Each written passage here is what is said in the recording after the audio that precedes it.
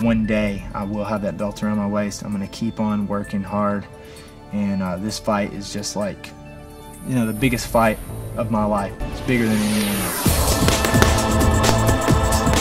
I think that my skill set and all the different weapons that I have, along with my power, is going to be the difference in the fight. He's got it! It's all over!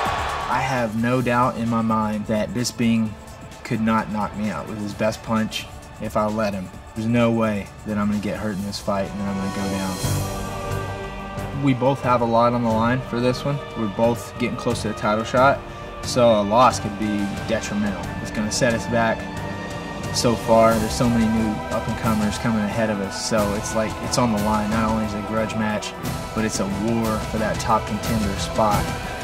Oh, I'm gonna try to stop the fight in the first round, whatever it takes. When it get, if it makes it to the second round, that's fine because he's gonna have to work just as hard as I do to run around from me. I won't slow down. I'm gonna go harder and faster in this fight than I ever have before. I just want to shut him up and move ahead.